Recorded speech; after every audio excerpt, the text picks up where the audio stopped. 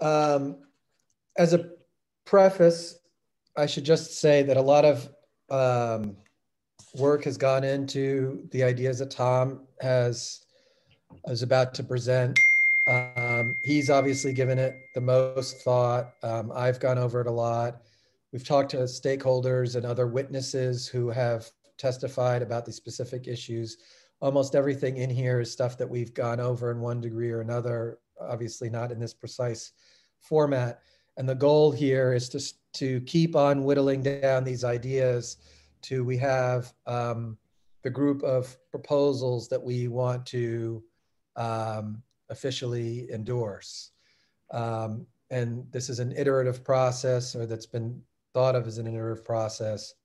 Um, and as we get towards the end of the year, the proposals are, you know, taking um, more and more shape.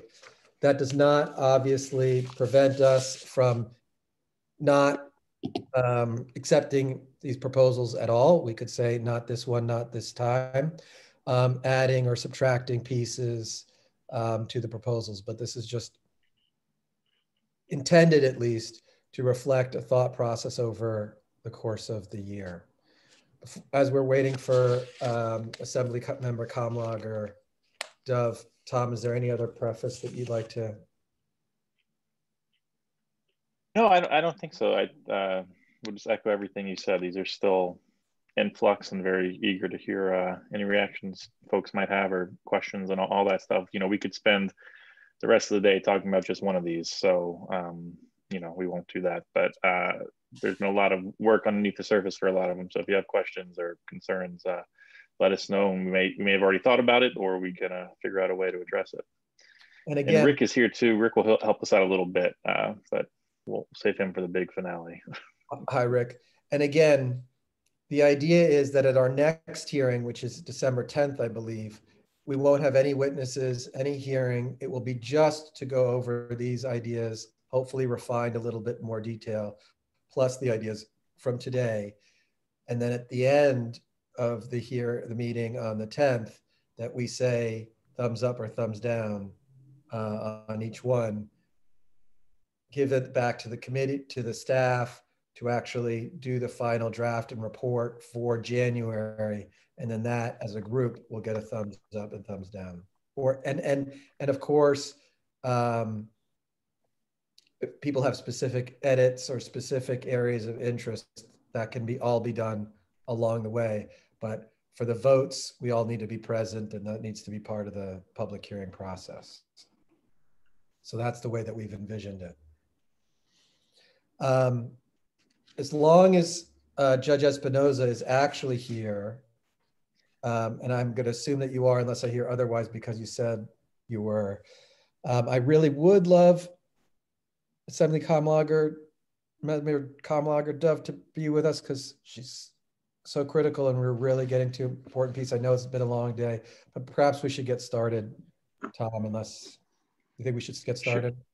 Well, I have one more uh, I have something I can share to help us filibuster for a bit longer that is responsive to what we were talking about earlier. So this is data from CDCR about their 1170Ds by data. Now this is very important thing to understand here. This includes the exceptional conduct and all the other ones they've been doing. They've been doing a lot more for people to be sent back for sort of technical sentencing things. But you know, this big chart is our, you know, of course, our buddies in Los Angeles. Um, so I thought this would just be helpful to share with folks. And this is right from CDCR. I can share it with anybody who wants to see it. I know it's kind of small, um, but you know, some counties have gotten zero, um, 500 to Los Angeles, uh, and some other places. So I just thought that was worth uh, sharing and, for a moment. And the green is? Green is uh, ones that haven't gotten responses yet. So orange is response from court and green is ones they're still waiting on. Okay, thank you. Do, do I understand that, I can't read the numbers, but a large percentage of the LA cases have been responded to? Um, or is it? Yes, yes, okay. but I think it looks like there's probably about 30% that are still waiting. And of course, this includes ones that were filed, you know, two weeks ago. So there is some natural number that wouldn't you wouldn't expect a response to yet. But um, I think there was a, a, bit of a pause during COVID for a while. Mike, you probably know more about than that. And then a, a, bunch went out recently. Yeah, they just they had a um, furloughed everybody who was working on the 1170D process, as far as I understand. Um, but they're back. I believe they're back. Now, it looks I, like uh, every, what, the, what it's worth, I understand that this is also a priority for Kathy Allison and CDCR to try to find um, and encourage. I mean, the way the process works in CDCR right now is that they've asked wardens and, and deputy wardens or assistant wardens to try to help identify the folks that to funnel up the top. And I think it's something that she um, uh, fully supports. So, all right, with that. Yeah, let's get rolling. Okay. Um, if, folks have, you know, if you want me to zoom in or anything, let me know if this doesn't look okay, in other words, but I'll just, I'll just start. And there's a lot of text on, there's just eight slides total, a lot of text on each one. I'll just sort of walk through and then, you know, uh, expand a little bit more. So the first um, proposal here has to do with traffic court uh, and specifically two offenses that are extremely common traffic offenses right now that can be charged either as misdemeanors or infractions. So just to zoom out a little bit, uh, you know, if you just look at pure number of cases, traffic court um, is the bulk of criminal filings in the state of California. We're talking about more than a quarter million of them are uh, misdemeanors every year, and they have significant consequences. You can be arrested for them. You can the fines and fees are can get really big. I can walk us through that. Um, for a second if folks are interested in seeing how that kind of balloons. Um, and you know, the two offenses are driving offenses that really have nothing to do with safe driving. They are folks who have their license suspended because they didn't go to court or they didn't pay a fine. And often that former category is people not going to court to explain why they can't pay a fine. So they're uh, very closely related to poverty and was won't be surprising. Uh, there's studies showing that there's a you know pretty big disparate racial impact as well here with these offenses. And the second one is driving on a license without a license, and that often is a sort of um, I don't know if you think of it as a greater or lesser included of driving on a suspended license. So some really big numbers here, uh, and all these numbers come from the bill that was a few years ago to eliminate the ability to suspend a license for not paying a fine, but there are still perhaps hundreds of thousands of people who have a license suspended for that reason because that relief wasn't retroactive, one of our themes here. So between 2006 and 17, more than 4 million people uh, did these things that could lead to a license suspension, so not going to court or failing to, to pay a, fine or fee. And about, uh, you know, 600,000 license were actually suspended for those reasons and don't have more up-to-date data than that, but no reason to think it's, it's gone down, you know, uh, significantly there. Uh, so the proposal here is pretty simple. Instead of saying, you know, this these could be misdemeanors or infractions up to the prosecutor, they're infractions. Uh, so you you take them out of um, a lot of the things in the criminal process. Someone can't be arrested on it, um, and you know it's it's uh, not treated as a misdemeanor offense anymore. And again, I, I think uh, it's just important to emphasize that there are entirely separate statutes that let your license get suspended for DUI or reckless driving, and this is not about that at all. It's um, just about these sort of coercive techniques to get people to, to pay court fines and things like that. And, uh, you know, the LA city attorney has been doing this for a while. I think the prosecutor in Santa Clara, Jeff Rosen, who we heard from a few months ago, is also going to be doing it. So it's sort of a recognized, like, you know, uh, way to reduce numbers, address a little bit of the racial disparity in some of these cases, and just to, you know, have a bit more of a rational system. So the outcome would just be along those lines. You'd have a lot less folks uh, having misdemeanor cases, a lot less of those cases on the misdemeanor traffic docket and fines and fees. Uh, if we address that as part of it, could go down significantly. And I think the other thing we'd want to do here is you get the same amount of points on your license for one of these offenses as you do for DUI. So it's two points. That's what you get for DUI. So there's just a lot to, um, you know, take a look at and make sure it sort of makes sense in the way we want to treat these offenses. So we would, so we would uh, set it up so that it was not equivalent to a DUI, so you wouldn't get the two points.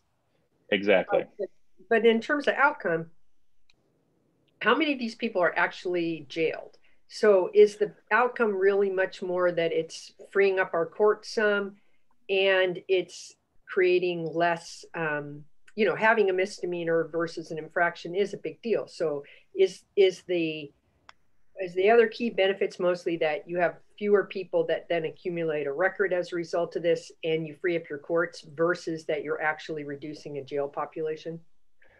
I, I think those benefits are the bigger ones. I, I do know in talking to folks about this, people do go to jail for it and you can be arrested for it and, and booked, even if that's, you know, um, not a you know that's obviously a huge burden and deal so it does happen i'm sure you're right that that is not going to be the, the biggest outcome but i think it's still going to happen i mean there's a specific provision in the penal code that lets people go to weekend jail for this offense. Who knows how often that's used, but uh, you know, at, at, least it was contemplated as, as being, you know, a real crime at some point. Um, and you know, the other thing that I've also heard from folks about this is, uh, and I, we need to delve into a little bit more, but the the fees associated when your car is towed if you get arrested for one of these offenses can be significant. It's just a whole bundle of, of things that you know really make these situations i think worse to no real discernible benefit for for the rest of, of, of people um now why i'm talking about the uh the the the fines and fees i want to just share this brief chart this is from um uh a report uh, from the um what's called the back on the road coalition let me pull it up here real quick so this is just sort of a uh you know this is how the fines and fees can balloon pretty quickly. So you start off here with a hundred dollar uh, fine, your base fine on an infraction, and this provision kicks and this provision kicks them down all the way down to where it's close to 500 bucks. And if you're late, it you know gets close to doubling. So that's just an example of um, some of the uh, uh, snowballing consequences that, that can happen with these. So let me get back to. Uh, and of course, the irony is, or the not the irony is, the compounding factor is that a lot of these people have a fail have a suspended license because they couldn't pay for it in the first place. Couldn't pay for the fine or fee in the first place. The other thing I should clarify before we go any further is, of course, as we've done all year, we started with the lowest level punishments and working our way up to life sentences. So yes, we're dealing with fines and fees, misdemeanors, infractions, and as we progress through this slideshow, it will get to more and more uh, serious sentences or lo longer sentences. That's right. All right, well, I'll move on to the second one, unless anybody has any, any other thoughts. Before we, before we move on, is there any questions, comments, additional thoughts about this? All right. Great. Okay. So number two is about um, short sentences in CDCR, basically uh, playing on two facts that we learned that our, uh, believe it was our July meeting when we when we heard from Mia Bird and Ryken Grattet about a study they had done showing that the recidivism outcomes for people who had gone to jail and probation or just probation were better than folks who had uh, done prison sentences, all else being equal. And it was a fairly rigorous study that they had controlled for a lot of factors for. Is for the most part, the recidivism outcomes were better and significantly better uh, for um, folks who had done a split sentence uh, versus a prison sentence. So 23% lower felony reconviction rate uh, for those folks. Um, and the other fact that we learned was that 37% of the folks going to CDCR with a determinate sentence, which is most people going to CDCR, their average stay once you do the time remaining on their sentence and their and their credits ends up being less than a year.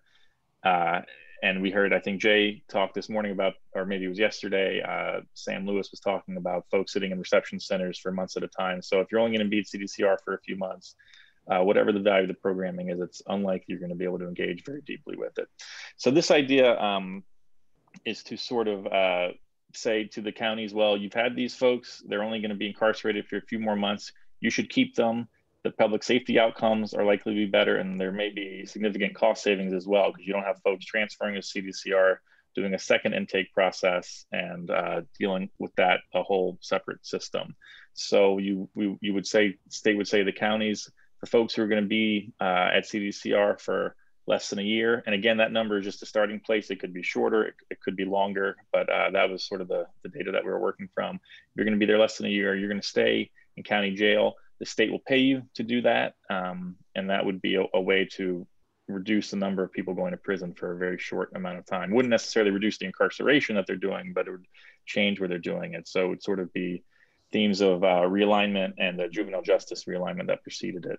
And I think part of this can include giving counties uh, more tools to uh, manage their correctional populations. So, for example, we'll talk about this a little bit when we get to our credits idea Right now, uh, the credits that you can get in jail are entirely what's pres prescribed in the penal code. So if a sheriff wants to have a, you know, a better credit earning for a certain category of person, they can't really do that under current law. That's something CDCR could do. Uh, there's also restrictions on counties being able to sort of uh, share custody over incarcerated people between different jails. So, you know, one jail's overcrowded, but their neighbor has space. There's uh, they don't have total flexibility to do that. They wouldn't be able to do it for this population if you have a, a, a, state prison sentence. So that would be another recommendation we could make that that law be revised. And Senator Skinner, that would be one of these changes that would be adding two words to the statute that would get the job done along the lines that we spoke about earlier for the, some of the realignment issues. Uh, and there's also county parole systems that, you know, there's the idea is that every county under the penal code is supposed to have a county parole board that's supposed to be able to let people out of jail uh, early on, onto supervision. I haven't been able to find that many places that do it, but perhaps you can incentivize places to, to do that too. Again, just giving counties more tools to manage uh, their populations um, as they might be uh, having people staying slightly, long, slightly longer. So that's the overview of, of that idea. This is one that um, tends to provoke a lot of discussion. let me let me start the discussion and say a couple things.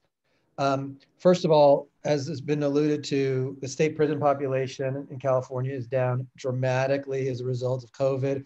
Almost all of that has to do with the fact that they have stopped the intake of people from jails to prison, right? So that's how we're at such a low number. This would, in in some ways, um, carry on at least part of that um, benefit to the state or population reduction to the state because 37% of the people, at least for one year, but it could be 18 months, which would be a higher percentage of people going to CDCR. So it would dramatically slow the intake of people to CDCR and the outtake remains the same. So that's how the population uh, comes down.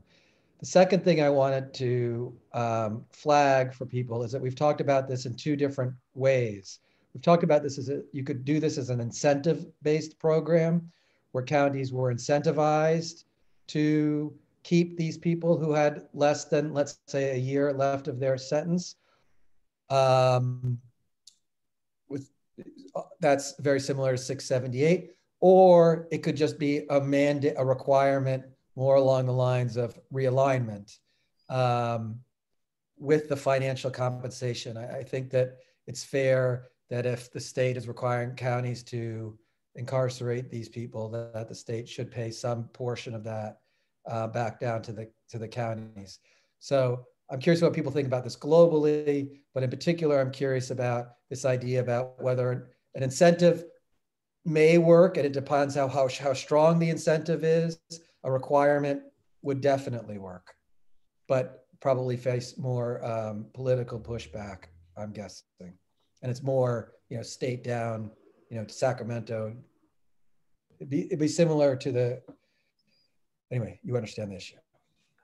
I so, think we i think we advocate for the change and let the detail i mean this is the kind of detail that gets negotiated between the county association and the legislature and the governor's office you know, it's one of those where, because even if we said, okay, this one we think is better, uh, the the other, in other words, we may say, all right, the mandate's better. They might negotiate the incentive instead, or we say the incentive's better, and they say, not not level playing field. We're going to negotiate the mandate. So it might be wiser for us just to recommend the change and let then the detail of it be negotiated that that makes sense, and I think that different different areas will have. Uh, uh, we I don't anticipate that you know word for word all of our things are going to be adopted, but we should I think endorse those practices which we, we think are best, fully realizing in the process that that those will change. So if we don't have a strong feeling about the incentive or mandate, which I don't, um, again I think it's in the data. Um, I'm I'm fine to leave that unspecified unless other people have strong feelings about it. Don't have strong feelings about that, but I just want to say that this is going to be a, a very unpopular idea in Los Angeles County, and, and I'm going to explain why. During the COVID crisis, our daily census at the jail dropped by 5,000 people, right? We went from a 17,000 plus daily census to at one point under 12,000.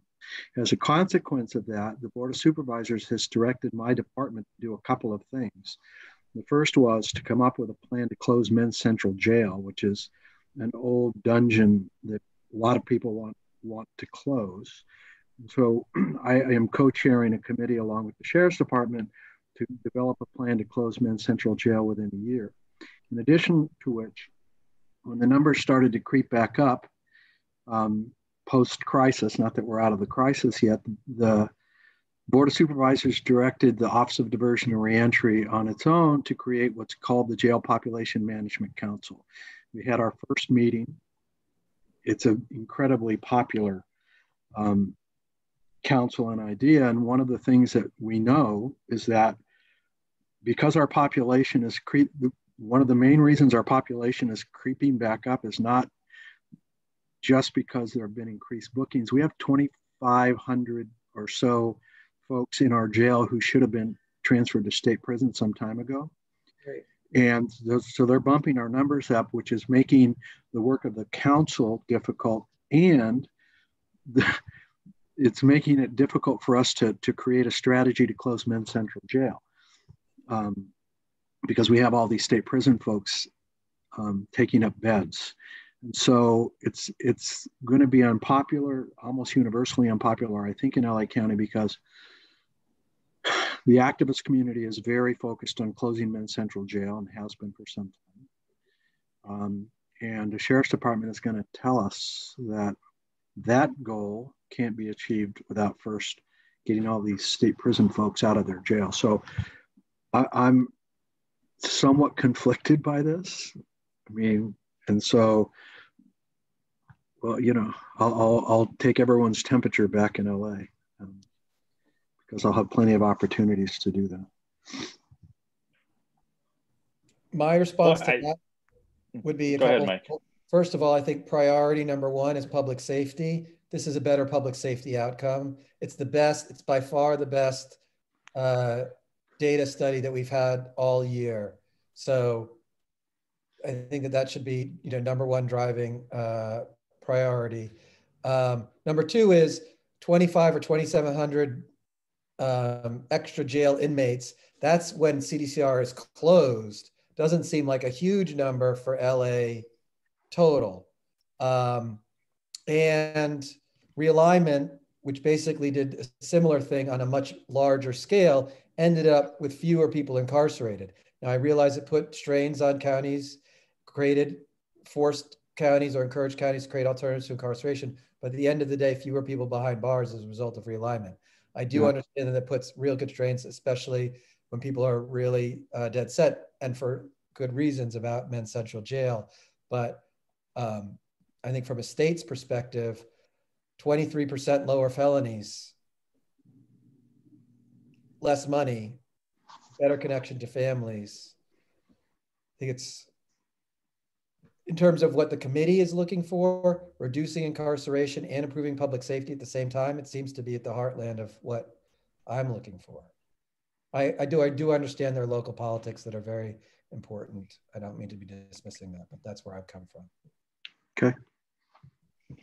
And and I and I, and I'll um, maybe I'll follow up with you after the meeting too, Judge Espinoza, to, to see who in LA might have good ideas. But some of the other tools that might be part of this recommendation to um, encourage, safely encourage less incarceration in jail with you know earlier releases because of credits and parole. Maybe that um, might be a good tool for the uh, for the management council to know about too. That uh, there might be more flexibility um, than just what is required under the uh, the Rutherford case right now too. Yeah, but, we're we're pretty up to speed on all of the uh, discretion the sheriff has to release inmates, to release people from jail. But yeah, we should talk. We should definitely talk offline.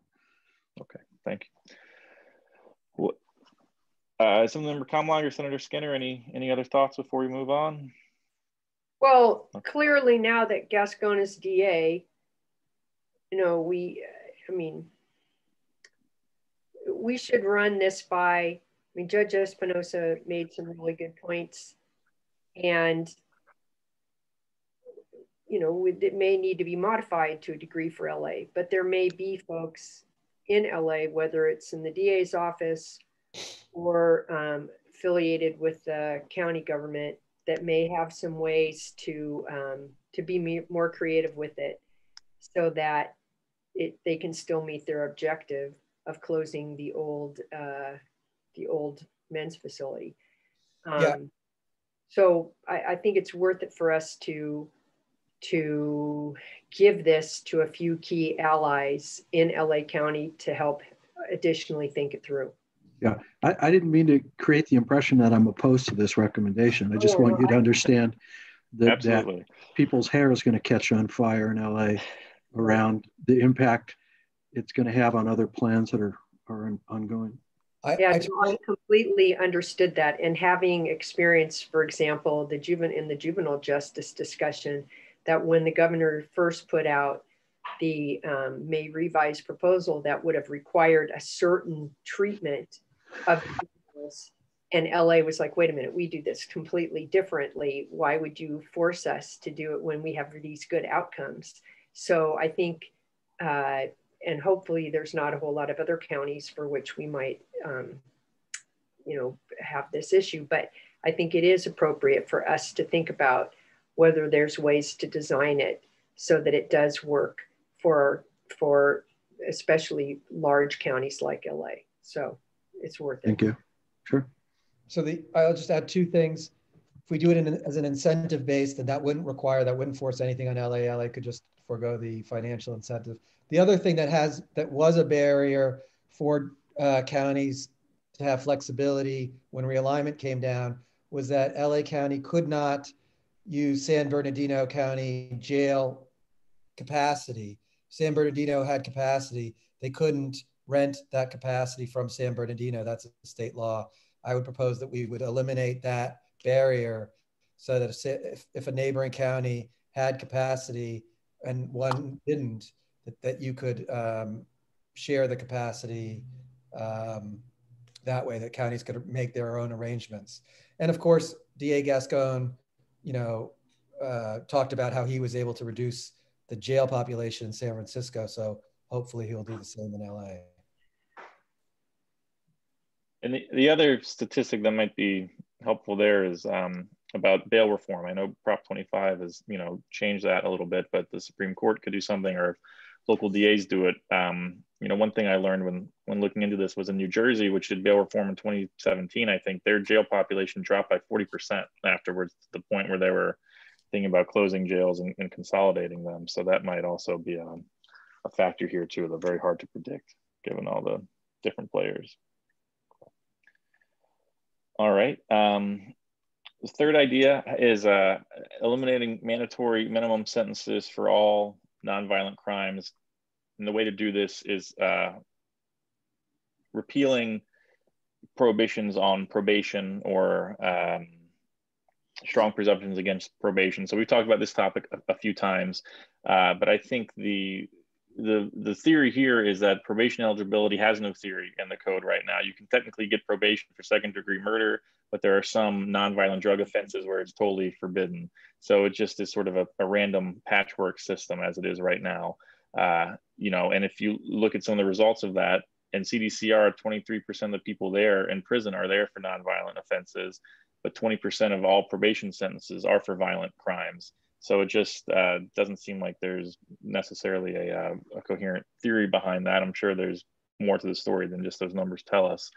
But uh, the idea here would just be to go through the penal code and say these, this pro, you know, this law that says you can't get probation for this nonviolent offense that's now up to the judge or this this part saying in this particular offense uh, it's strongly disfavored that's now up to the judge in particular this following up on what miss irwin said this morning first degree burglary which is the burglary of an inhabited dwelling that right now uh, is essentially probation ineligible as a strong um, presumption against it. And so this would allow a little more flexibility for that offense in particular.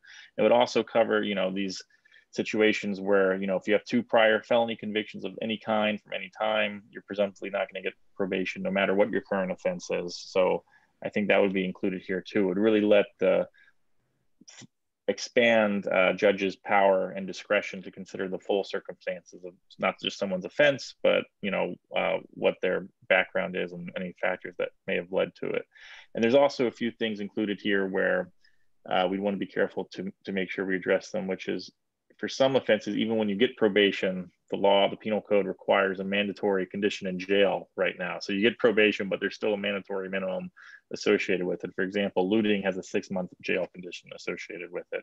So that would be uh, part of the recommendation here is just to say if it's nonviolent, uh, up to the judge about probation. If there's a prohibition of it or presumption against it, um, that would be no longer in the code and the power would be with the judge again. Any thoughts, any questions?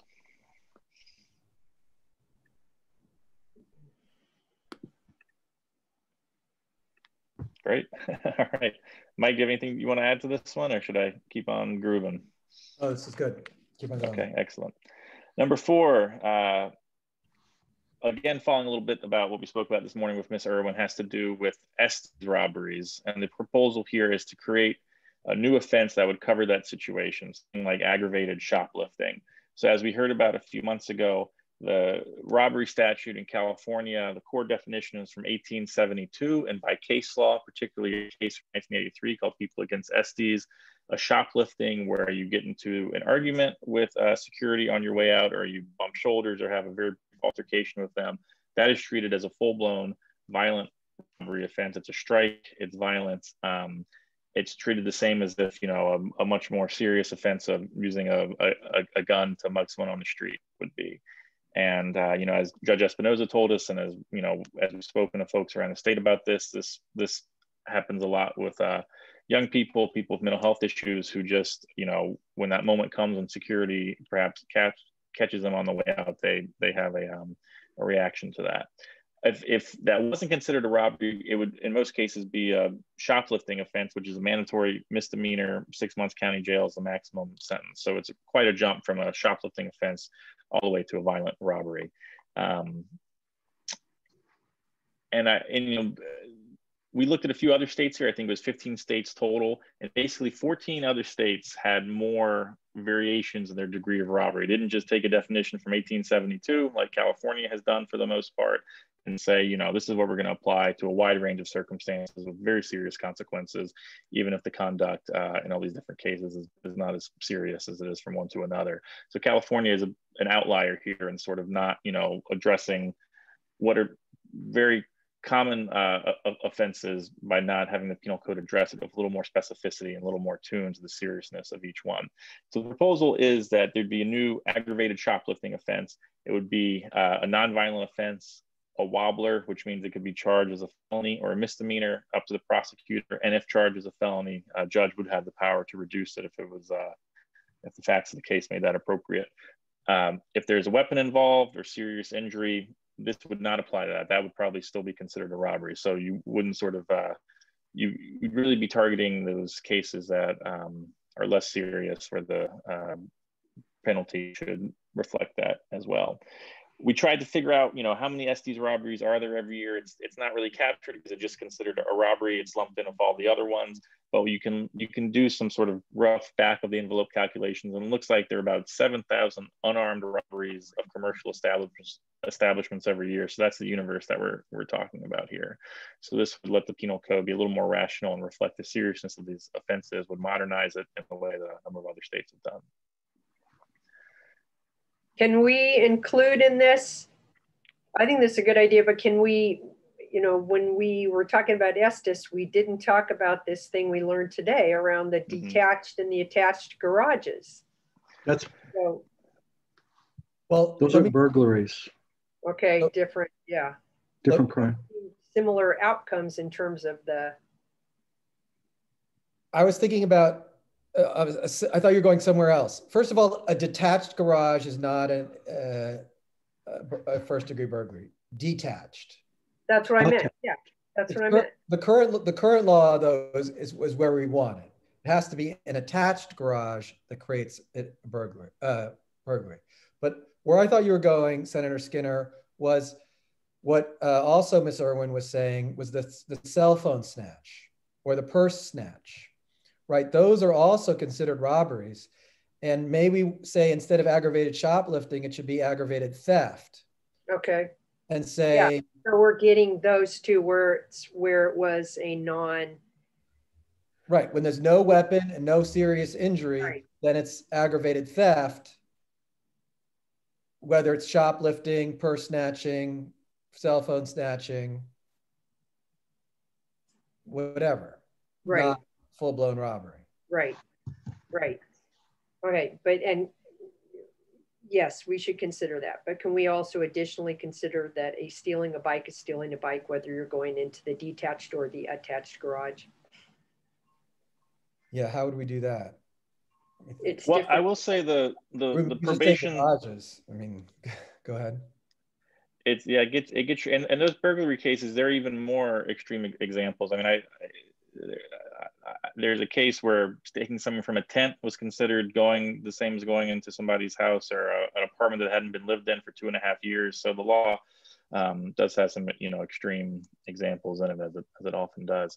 Uh, the the probation idea we just discussed, the burglary of in those situations um, would be affected by that. It would it would be more probation eligible than it is now, but it wouldn't be a fundamental change to the elements of the offense like we're talking about uh, with, with the robbery statutes. Um, and I would, we definitely we can we can we can. Yeah, maybe we just it. need a separate look at the burglary statute. Mm -hmm. Sure. I would agree with that. Yeah.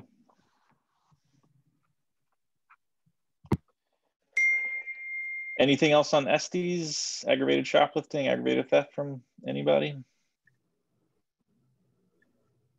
Great, all right. No, except concur with Mike regarding the uh, uh, the not not referring to shoplifting and broadening it a bit. Yeah. We'll we'll take we'll, we'll take a look at it. The the one of the the ease of the Estes things is that it's very defined in, in, in, case law. So there's sort of a, a path to follow, but we can we can definitely look at sort of the uh, theft from a person. Then, then it well. might end up being two things: an aggravated aggravated shoplifting and an aggravated theft versus. Right. Okay. Excellent. So these next few ideas are about uh, some of the sentencing enhancements. Some of the the thing that there was a lot of comments about yesterday, and that you know um, I think every panelist that we spoke with mentioned it to some degree in the last two days. Uh, so right now, judges have a power under something called Penal Code Section 1385 to ignore, to dismiss almost all sentencing enhancements when coming up with a with a sentence. Um, the only guidance in the penal code for that is that it has to be in the furtherance of justice. The California Supreme Court has weighed in a few times and hasn't done much to, to clarify, except to say that this can be used against any enhancement uh, that isn't specifically excluded from it by, by the legislature. So that means it covers things like three strikes, gang enhancements, nickel priors, things that were created by initiative can still be struck under 1385. And you know, as we as we've heard and as we know, sentencing enhancements are a huge driver of uh, incarceration 80% of people in CDCR had one and 25% had three or more. And we heard, you know, Jay's story this morning of the number of enhancements in, in his case. And in particular, uh, you know, this would be a way at addressing some of the racial disparity and some of the um, discrimination against uh, people with mental health issues uh, by allowing judges to think about those things uh, when considering these enhancements. So the idea is 1385 could be amended to include our favorite tool, which is a presumption uh, in certain cases that enhancement should be struck if certain facts are present. For example, if you're relying on an enhancement uh, that's based on a prior conviction, that conviction is more than five years old or some amount of time, presumptively you should strike that and not increase the sentence as a result of it. Or if the conviction was from when the person was a juvenile, or uh, if some of the current enhancements have a, a connection to a serious mental health issue, or if uh, there's evidence of a you know disparate racial impact in the in the use of the enhancement. So it would create uh, a presumption that the you know some direction from the legislature about what the court should do in these circumstances, and it would also open up um, a venue for defense counsel and you know people being prosecuted that it's appropriate to talk about these things which uh, you know the kind of discussions that i think the committee has been having are not the kind that happen in courtrooms when cases are, are talked about. So we create a space to uh, to talk about some of these things in a more formal way. And it would just provide uh, guidance and encouragement to to judges to use the power that they already have uh, and it would you know in the appropriate cases result in much shorter sentences and you know all the positive benefits that we've, we've spoken about the last few days about that.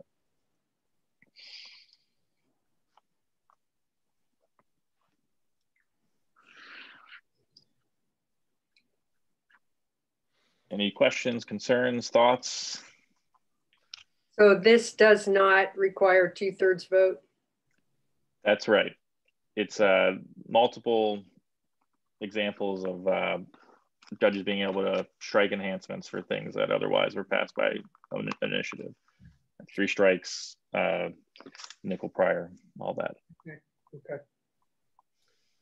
So it would be tweaking an existing law, essentially. Tweak might not be the right word, but modifying existing law. Okay. Okay. I have two points before yeah. moving on.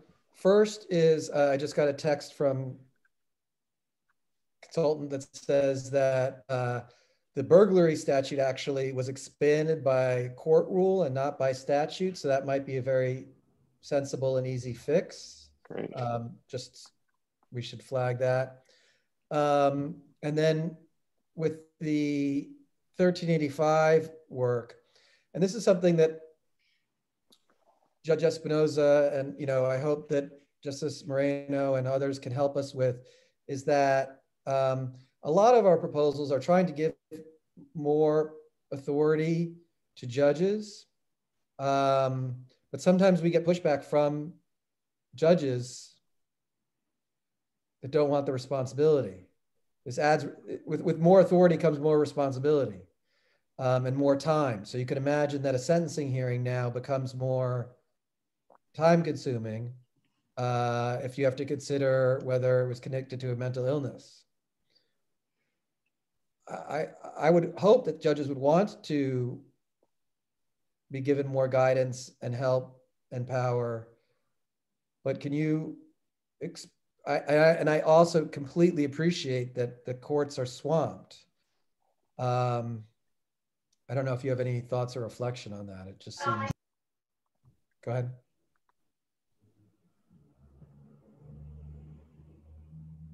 Sorry, um, it's been my experience that a frequent chorus amongst judges during educational programs and other gatherings is the, the desire to have more discretion. I don't think it, I don't think you would, this is just my, this is just me speaking, but I don't think there'd be a lot of pushback from the bench on giving them additional authority and guidance on how to exercise that authority.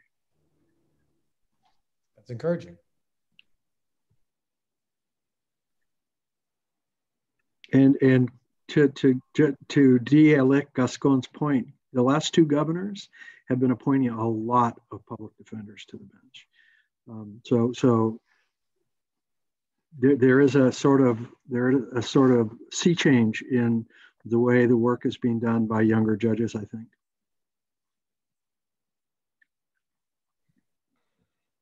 Great.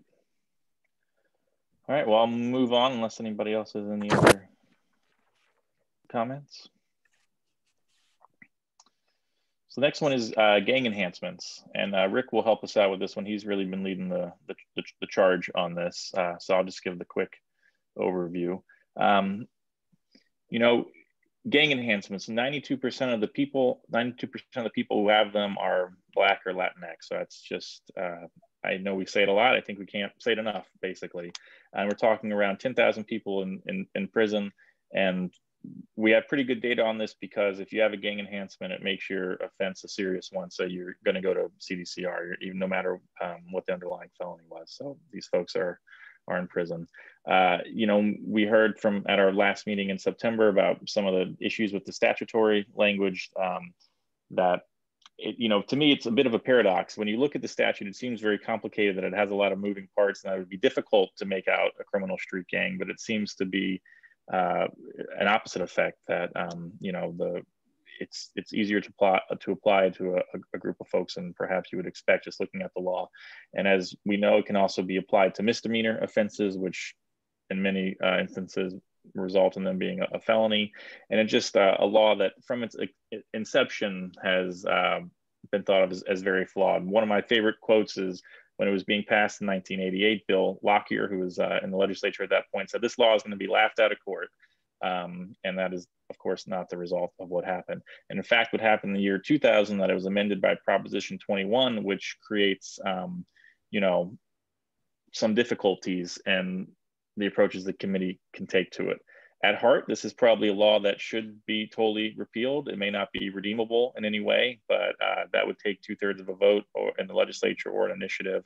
So what uh, Rick has been looking at is ways to target the law at what all the legislative material about the law says it was supposed to be targeted at, which is, you know, violent organized groups um, that, uh, you know, are not, you know, a, a collection of folks who know each other from the from the same neighborhood. Um, and there's sort of two ways to do that. The first way is to, to add more to the statutory definition of what a, a, a criminal street gang is, to specify that it needs to be a violent enterprise uh, and some other adjustments we could make there. And the second way to get at this is to increase um, the protections or uh, to require prosecutors to use reliable evidence when proving these things in court. And there's two main ideas here. First is anything that's about the gang enhancement is presented to the jury in a separate proceeding. So this is called bifurcation. There was a bill on this uh, a few years ago. Um, basically, you take the gang enhancement evidence out of the main trial and you say, we're only going to consider this gang evidence if the person is found guilty. And the reason for that is that there have been studies showing that just saying the word gang in the courtroom and having that evidence, it makes juries more likely to convict. Um, in cases where they may not have otherwise. So it just has a, hugely prejudicial impact. Um, and the other way to, to, to get at that prejudicial impact is to require prosecutors to use direct or circumstantial evidence to prove the elements of the gang offense. So the way, as we heard, um, you know, in September, that allowed these cases unfold is that a, a gang expert is called by the prosecution, often a police officer who can essentially direct the jury that all the elements to prove the gang enhancement have, have been met and it's um, and Rick can speak a little bit more about this, but it's it's an unusual way of, of presenting a case to have one officer testify to uh, all these very different facts that uh, should can and should be proven uh, more directly as every element of every element of an offense needs to be proven. And there's some precedent for this in the penal code. For example, there's special evidentiary rules around you know, uh, accomplice testimony um, and in custody informants. So there's, uh, you know, the penal code already does acknowledge when there's special prejudice from some types of evidence, it makes sense to take special care about it. So these are things that would not eliminate the gang enhancement, but I think would target it in a way uh, that should reduce its use and would be hopefully limited to those cases where uh, it was it was most appropriate. Um, but Rick, I don't know if you have anything you want to add to that, or we can see if uh, any folks have any questions or comments? Uh, the only thing I'll add is that I think that in talking to practitioners, what um, they continue to mention is that if you are going to change some of the definitional language uh, regarding what is a criminal street gang, it does have to be accompanied by the bifurcation and the evidentiary requirements. And if that doesn't happen, it could result in even more prejudicial trials and evidence coming in. So I think you have to look at it as a whole?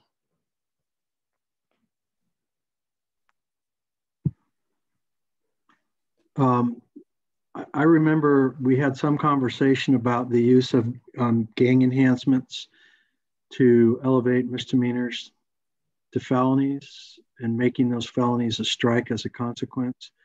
I was hoping, I don't see it in here, maybe I'm just not reading it carefully.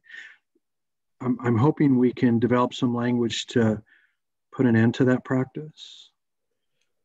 Judge, that practice was allowed um, by voter initiative. Okay. And so that is one of the things that would require a two thirds vote. However, I think in the previous slide mention of using 1385 as an avenue to get at that, uh, the committee could consider creating a presumption that the gang enhancement be stricken if the underlying conduct is misdemeanor conduct. Okay, that'd be great or nonviolent conduct in general. Correct.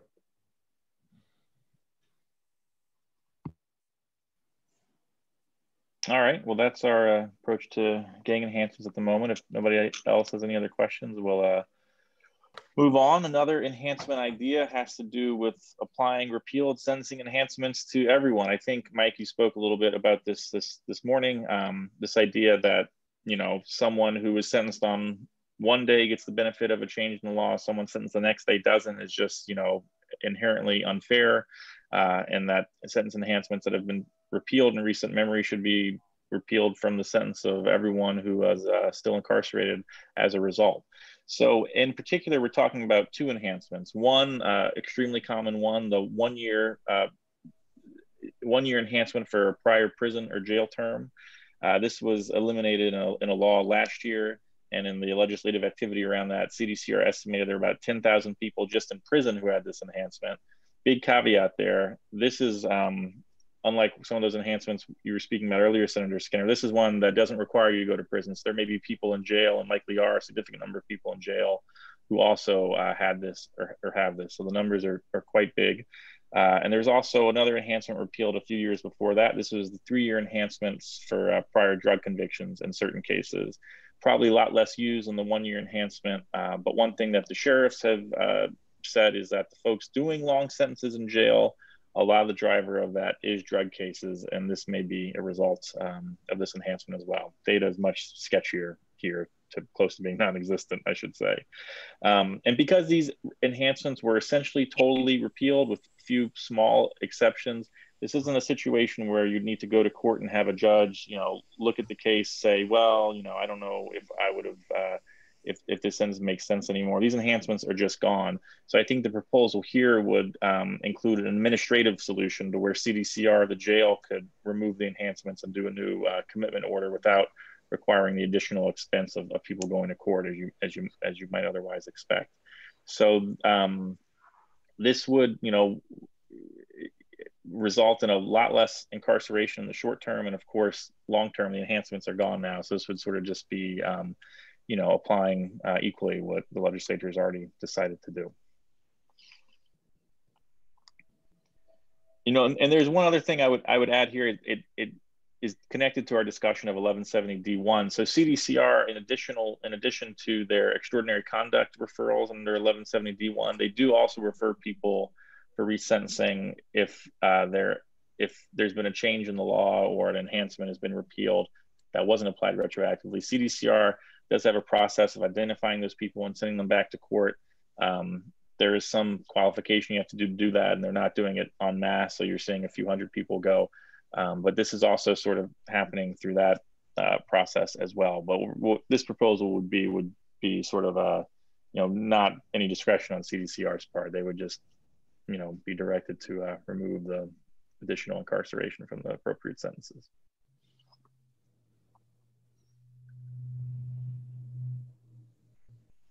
So it's just allowing them, in effect, it's doing a retroactivity that allows authorities to do it administratively. Exactly. Okay. So we might want to administratively, okay. Um, yeah. Okay. And there, yeah, so it's a lot of the expense, you know, with going back to court, I mean, a lot of it, all of it would be saved. Well, not only the expense, but right now, because uh, well, the courts are underfunded, period, and then with COVID, they're constrained. So the less, uh, you know, being smart about the less uh, impositions we put on them right now, since it's they're in difficult straits, the better. I would also say that whatever increased population that are, I mean, it maybe not be fair to tie two different proposals together, but getting to what Judge Espinoza was saying, that any increase by uh, having these people serve who are the short sentences, eliminating the short sentences in CDCR would probably be offset by eliminating the one year sentence enhancement in this particular proposal because of the number of people in jails. We don't have the, the real numbers on that. That's just a guess, but um, I think it would be upset at least partially, certainly upset partially. We just don't know how much. By. Okay. All right, and the grand finale, my favorite topic, credits. um, so we've talked about this idea a few times. I know it's getting late, uh, so I won't belabor it. But basically, you're in jail, you're in prison. If you were cloned and put one person and the other, you're getting different credits a lot of the times, and there doesn't seem to be any real reason for it. It just, I think, is a result of laws not being in sync with each other. So, um, great topic for the committee, I think, given our statutory mandate, and would have a huge impact. You know, everyone who's incarcerated, for the most part, is eligible for credit. So, even a small tweak here, you know, it's like changing the, the course of a, of a ship over time. It could have a, a huge um, impact. Uh, you know, we've been over these specific examples. I feel like it's it's too late in the day to start talking about percentages. So I'll just talk about one that I think we haven't focused on too much, and that has to do with people who are found incompetent to stand trial. Judge Espinoza, as usual, please feel free to cut me off when I start getting this wrong. But right now, if you're sent to the state hospital, you get no good conduct credit. So um, if you were confined in jail, you would be doing less time than if you are sent to the state hospital. So in effect, uh, people with you know serious mental health issues are going to end up being doing more incarceration than folks who don't have it. And uh, again, I think this is a, a, change in law that would take two or three words to affect, and uh, seems long overdue. That's accurate. Great. Well, not great, but thank you. Um, you know, we, we could talk about some of these specific ones if, if, if you want to, but essentially, um, you know, jails don't look so much at your prior conviction history. CDCR takes it more into account, and jails are limited to, uh, you know, the amount that's in the penal code right now and can't be more generous if, if they want to. Uh, so these are things that, you know, should be equalized between the two settings. And in, uh, um, as, as we heard about from Ms. Vargas Edmond this morning, you know, in, um, prisons you can get milestones etc you can get up to 12 weeks off in jail. It's it's, six weeks. So just would want to let folks have as many opportunities as as is appropriate for them. And speaking of her testimony this morning uh, we, we, we could consider adding a wrinkle that would allow uh, credits to be used against youth offender parole dates, which they're currently not allowed, as I understand it, in state prison.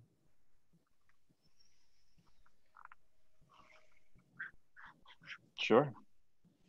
That's part of the larger conversation that we were talking about getting people to the parole board earlier, but would it specifically apply to youth offenders. Yeah, and maybe other categories too. I don't know if there's similar exclusions for other folks, but yeah. As long as we're on this topic, another big credit question that um, I don't want to add about at, at risk of opening a can of worms uh, at this late time. CDCR Prop 57 was what created a lot of new um, ability to CDCR to grant credits. And part of the problem that we have here is that the new credits under Prop that were given to the power that was given to CDCR to create new credit systems under Prop 57 eclipsed the statutory credits that are done for the jail system. One thing that, that CDCR has not done that I know a lot of people are very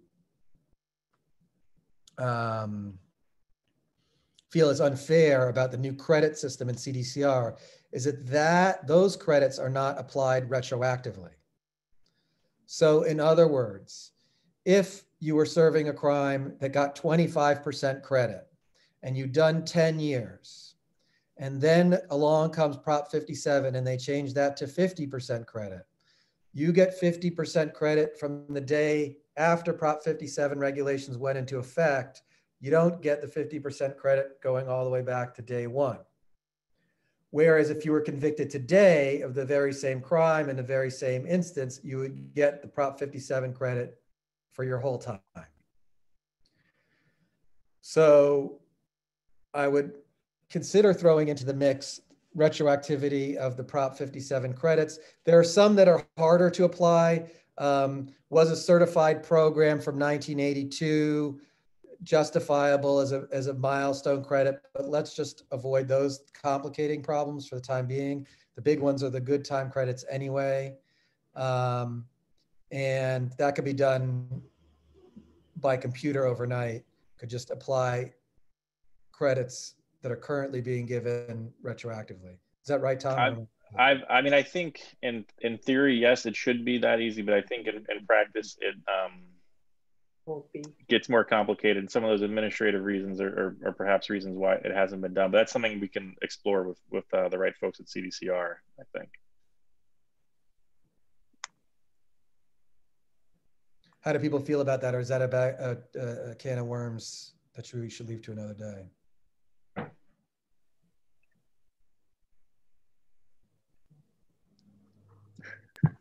It may be a can of worms worth opening. I mean, I think it's,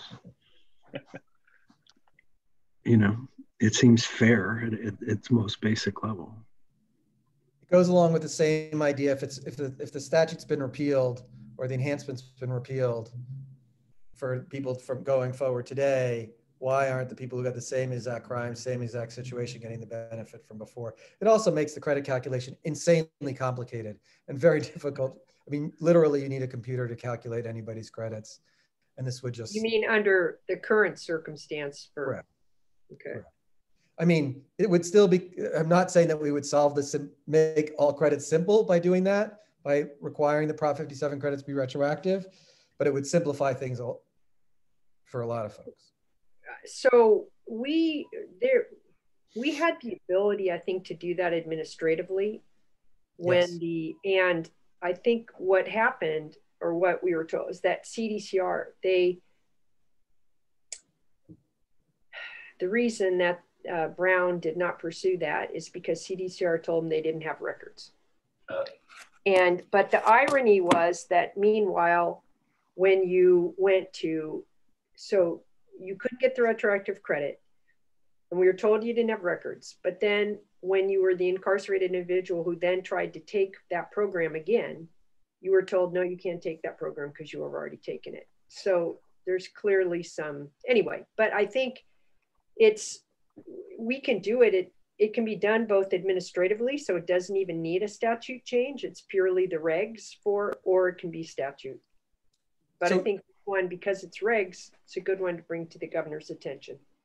Here's the. Plus- Go ahead. I was going to say, plus the discussion we had earlier today about being able to keep um, credits.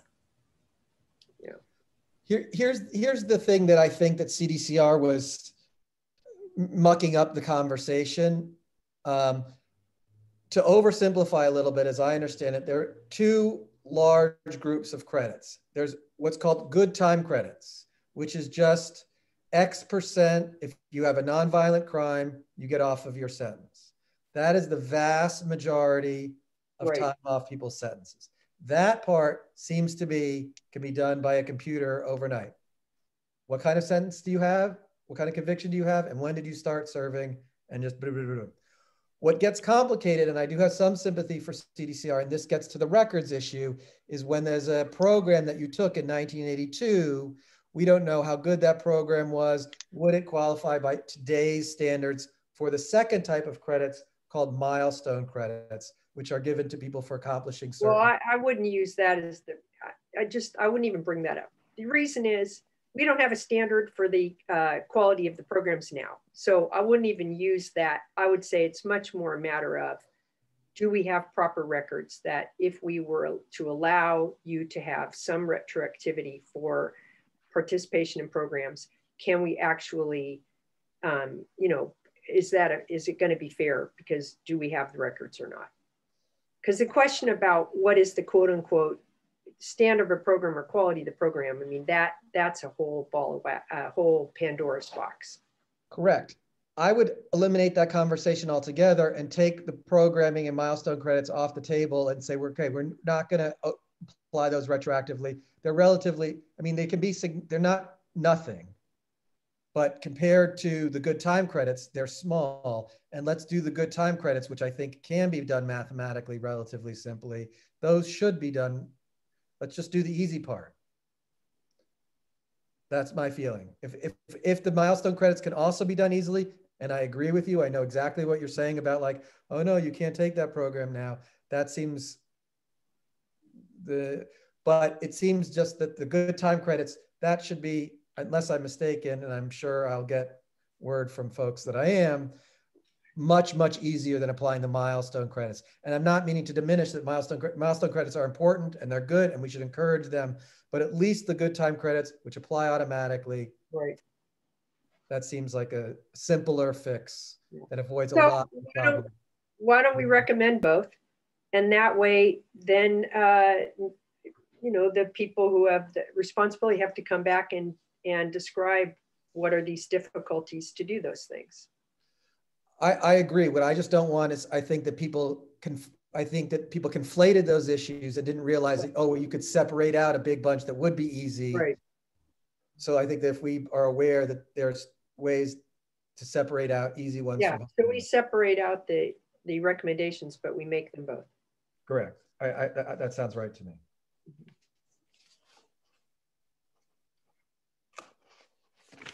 All right, great. Well, that that's it for old business, and we snuck some new business in there too. So good.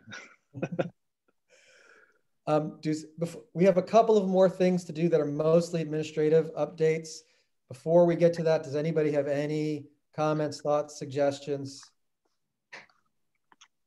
on anything that we substantively that we've talked about today?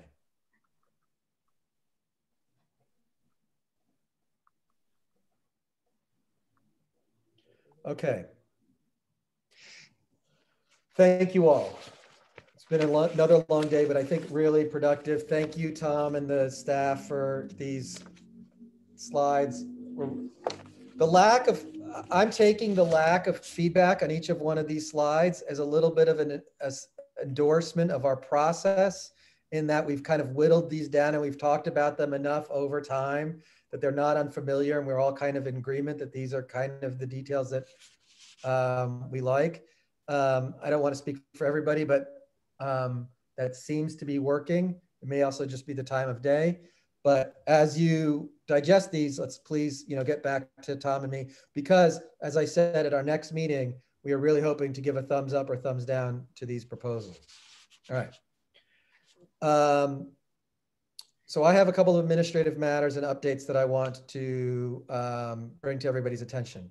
First of all, I think I mentioned this already, but I just want to make sure that everybody's aware and to thank Arnold Ventures, which is has given um, the University of California is the California Policy Lab, which is a consortium of, researchers at UCLA and UC Berkeley, um, almost a million dollars over two and a half years uh, to work with us and to help provide further data support as the data starts coming in from CDCR and hopefully the DOJ soon.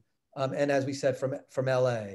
Um, this is including Mia Bird and her team and uh, Steve Raphael, who was another empiricist who testified by the, before the committee early on. I think there'll be a tremendous benefit and many thanks to Arnold Ventures. They're very excited about what we're doing. They've put me and Tom in touch with other committees that there, there's a New Jersey sentencing committee that's doing similar work. So they've been extraordinarily helpful. And of course, the money is very much appreciated. Uh, data. Um, CDCR has final, we're at the final stages of almost, almost, almost getting the data from CDCR. A lot of this has been, the last bits have been on the security protocols, which of course we, you know, want to be a million percent in compliance with, and literally down to getting the, the computer science people who are be handling this re, re-fingerprinted for the second or third time to make sure that their fingerprints are done precisely the way that CDCR wants to do it. So that's happening and should happen like hopefully next week even. Is it possible, Tom? I we, we should not let the okay. Well, let's say not jinx anything. It's not even Okay, I also want to say that we are in continuing conversations with the Department of Justice and Attorney General's office to collect a lot of data from them. It's critical to have the, the data from CDCR is helpful, but it doesn't make, there's we can't make a lot of sense of it in terms of the estimated impact of reforms without having the data from DOJ and vice versa. So a good example is the gang enhancements is that we know that 92% of the people who get gang enhancements are Black and Latinx. We don't know who was charged with a gang enhancement at the beginning of the day. So that the first bunch of information is in CDCR's hands. The second, who was charged with it and who is eligible is it is in DOJ's hands. So big part of it is to, to marry this data together, marrying this data together and putting it in, into one consolidated um, criminal justice database for the state would be no other state does does it like that. I mean, this is real would be a really extraordinary accomplishment for uh, the committee, and it's something that we, the staff, Tom, and others have been working very, very hard on. So I'm I'm I'm looking forward to it and helpful hopeful about it. Schedule stuff. Uh, our next meeting is uh, December 10th, as I've mentioned a few times. I really hope everybody can make it because this is going to be a vote up or down on the recommendations. Then early January, we'll have our final meeting of the year, as it were, uh, to vote on the report that will be drafted uh, basically between now and then. Um, and we'll also discuss at our January meeting agenda for 2021 and beyond. Um, Brian will be in touch with the actual scheduling. And I need to say that as Tom and Rick and Natasha and Laura and, and me, as, as we're starting to really put pen to paper, if you all have thoughts or concerns or suggestions, like now is the time to to say it. And we we can we can we have to make this the, big decisions thumbs up and down by committee at public hearings. But please communicate with tom if there are certain details of the credit scheme or the gang enhancements or whatever um, that you think are particularly important. That that's you know happening now and I, you know, I take good note of what uh, Senator Skinner was saying. Is in some ways, we some places will probably be probably quite prescriptive as what our recommendation might be, and other areas might not be. And appreciating that there will be a legislative process beyond our work, and that we're just trying to help the legislature as much as possible. All right, that's all I have. Brian, have I missed anything? Question. Yes. So our recommendation when we vote in December, so we just saw a deck, but we also um, today or in the last two days we had some recommendations regarding parole, some other things. So it our um, our vote in December will be on additional to what we just went through. Correct. We so when through- will we potentially see that in advance in order to give feedback before put in the position of the vote? That's a very good question. I, it's going to be hard to do it by we will we can distribute it by correct me if I'm wrong, Tom or Brian. Distribute it in advance in writing. That will have to be that will be public as a memorandum before December. Okay. We'll get that to you as soon as possible. But we cannot discuss it right as a group before December.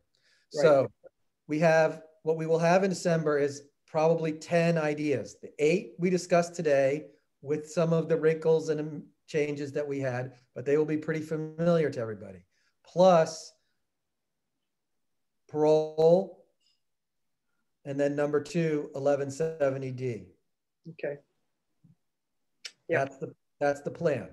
Now, if there are other ideas, again, don't hesitate to reach out to Tom or Rick uh, we just can't discuss it as a group. We, you, you can just, we could, again, my understanding is that two of us can discuss it, but we can't discuss it as a group. So if you need to bounce an idea off of me or one of others, you know, I'm, I'm always here. Um, any other questions, procedural or otherwise, that anybody has? We need to vote on the minutes. Uh, so there was minutes distributed by email. And um, I guess I moved to move the move to vote the minutes into the record. Does anybody second that?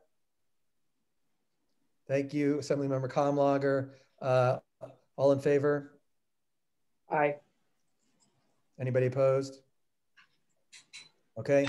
Uh, those minutes are now adopted. Thank you. Thank you for preparing the minutes. Um, thank you all. These have been a long couple of days. They're extremely rewarding to me. I like seeing you all. Um, it's been convenient to do this in some ways by Zoom and we can get our witnesses here. But other times I really wish I could sit around a table and hammer these things out with you.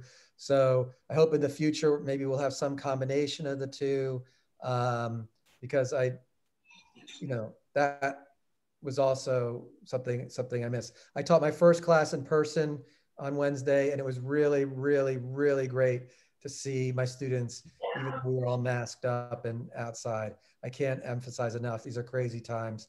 So thank you all for your hard work and especially to the staff who are really killing it. So thank you guys.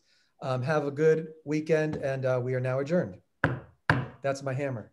Bye. Bye. Thanks. Bye.